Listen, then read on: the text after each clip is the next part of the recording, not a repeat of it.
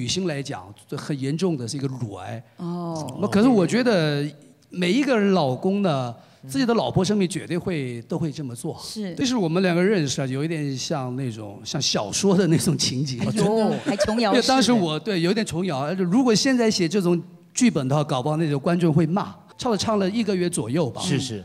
那一直有在同一个地方、同一个位置啊。哎呦。同一个位置上，同一个女人。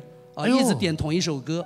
哎呦，不是我不小心，只是真情难以抗拒。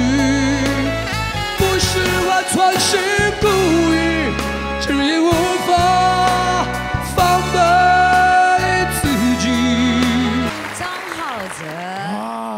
哲，这是圣诞台湾的竞赛。是是是。两位好，各位观众朋友大家好。哎，浩哲，我现在讲那个台湾竞赛，你听懂意思吗？嗯。你台语大概那大概听得懂。有没有进步啊？你是 他说你是台湾的女婿，那你总会讲几句什么假崩呐？哦，但这没问题吧？呃，假你假爸爸，你假爸爸，我假爸，我假爸，就这样。刚下力，哎呦，哎呦，哎，这个幼稚园程度了。对，人家还会讲了好几句，请问你会讲什么韩语？Come some Hamida，听起来很像在骂人呢。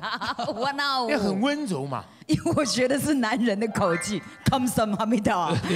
我好像听到这句都是讲这样的口气。好像是那个 Come Hamida。对，这句什么意思？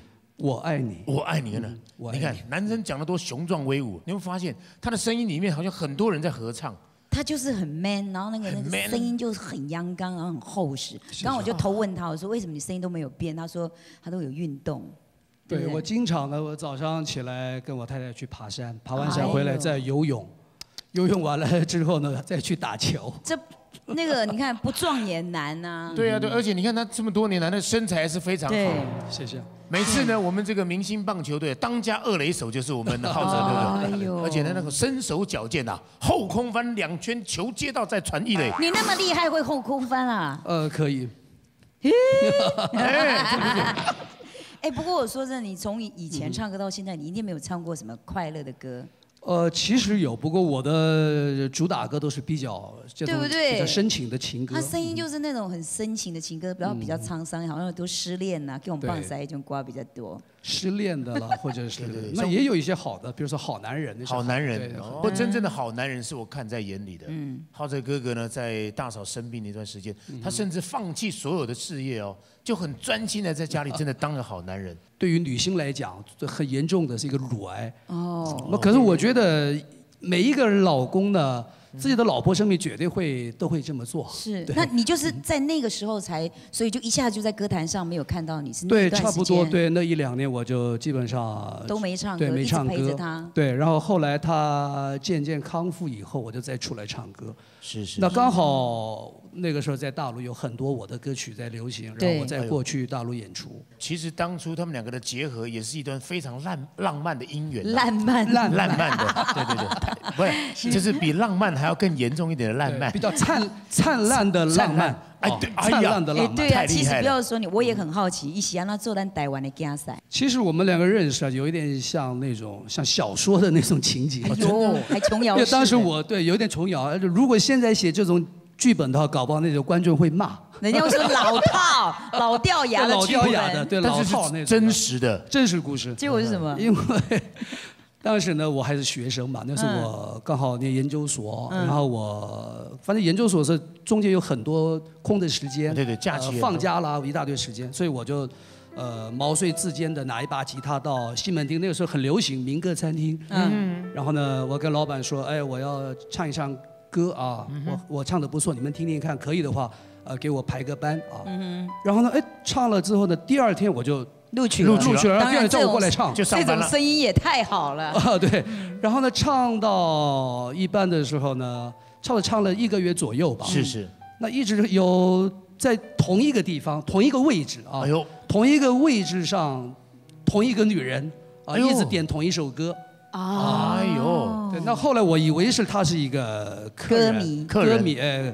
可是女客人嘛，一般的女客人。那有一次呢，那个服务服务生啊，嗯他拿那个点歌单，就是他点的那个点歌单拿过来，然后下面还写一个哎，她是老板娘啊，这写的是。哎呦，吓到了。对，那我一直不知道她是老板娘嘛，嗯老板嘛，那我以为是客人，我也没有特别理她怎么样。嗯哼。那后来我当然我必须要表示一下礼貌，我唱完歌呢跟她。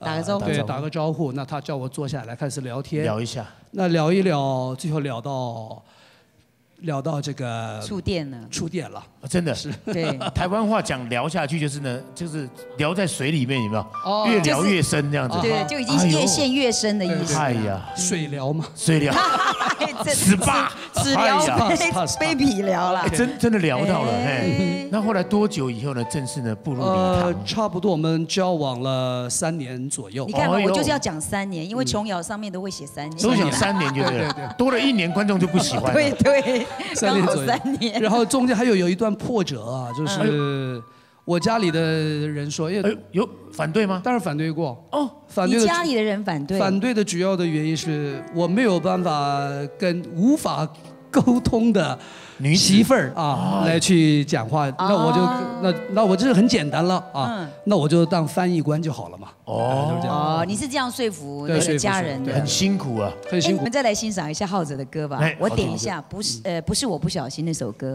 哦，来吧，这是我故意的。谢谢。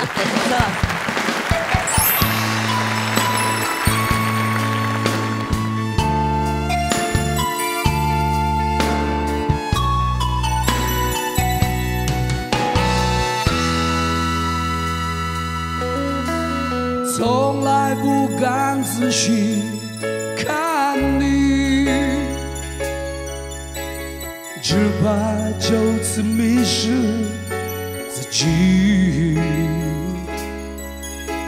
虽然你不是我的唯一，深情却叫我无法逃避。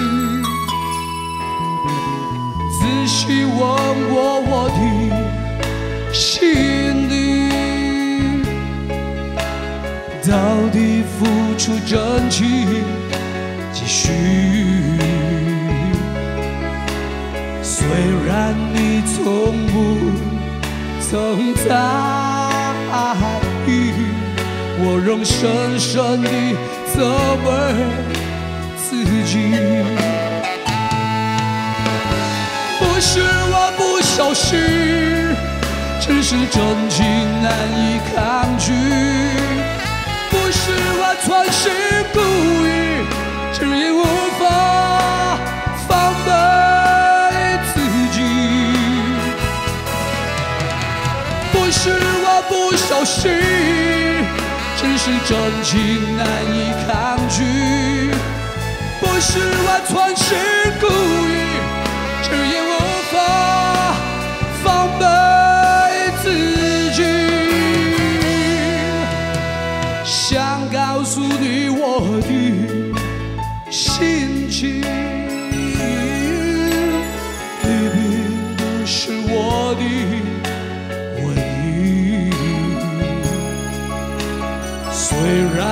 说你不在意，我怎么可以原谅自己？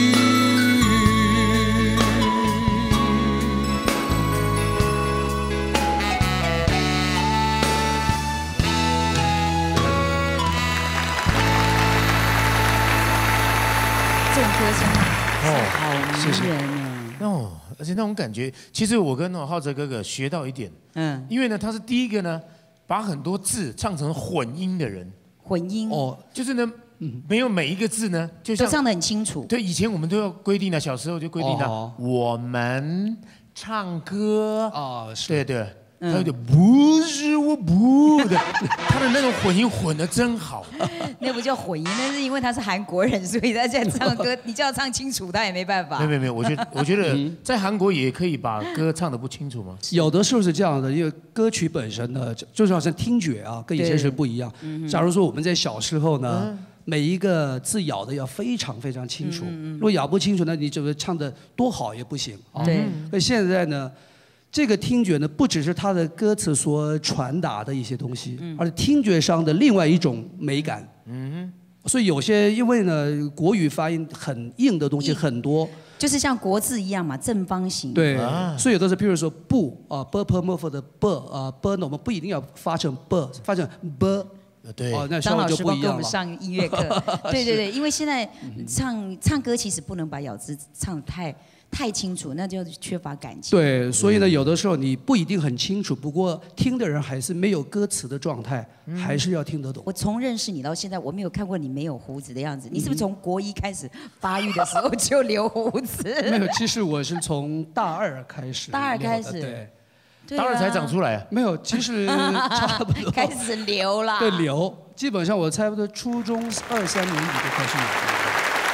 我刚刚在听他的声音，其实难怪，就是说人家讲说，呃，歌手就需要有一些特色，像他除了声音浑很浑厚之外，很男人、很 man 的那个感觉以、以外，他那个声音哦，有一点那个喉咙的那种。很多共鸣，而且转来转去，有时候是到鼻腔，有没有？对，还有鼻腔，还有对啊对对胸腔胸腔还有丹田，丹田腔。啊，它有时候是天灵盖，有时候是耳腔，也有。对，真的是这。样子的。有些部分呢，你要放在什么样的位置？对对。那么这个声音听起来非常有共鸣感，然后听的人觉得说，你完全可以融入在他的声音当中。哎，气要集中在丹田，然后推出去，不能。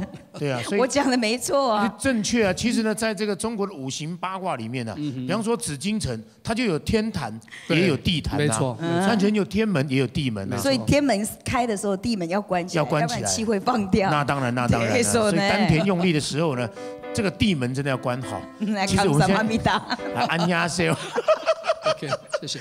那我们来看看呢，这个过去呢，这个浩哲哥哥在以前上这个节目的时候呢，嗯有很多很精彩的这个演出。来哦好看一段。好的。来来，哇，也很久没有看到赖皮虾，还是一样的络腮胡，头发有一点改变。哎，我觉得这样头发比较好整，对又好看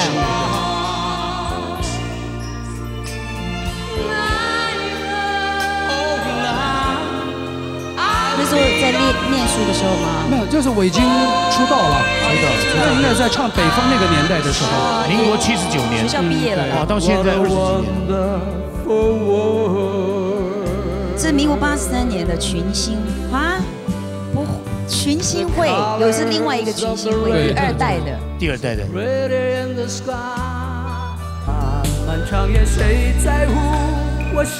这也是八十二年的过年特别。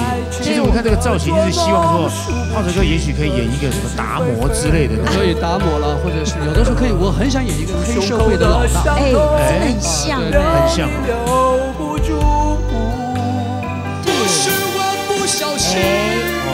刚才唱歌的时候，难以抗拒。也是九二年的夜夜，来艳美丽，较接近在现在的现在九二年的。在九十年。不是我不小心，只是真情难以抗拒。不是我存心故意，只因无法防备自己。从从来没有把声，从来声音都没有变过，就是保养的很好。谢谢。太好了，没错，最近那个浩子都在内地、大陆演唱比较多嘛。对对对，那你有没有打算在那边出唱片？呃，有现在呢，我已经新的专辑已经做好了，哦，做好了等。差不多在六月份左右会发行。很多好的歌手呢都在内地发发专辑比较多的，对不对？可是我这一次的专辑呢，在台湾也会发。啊，对对对太好了。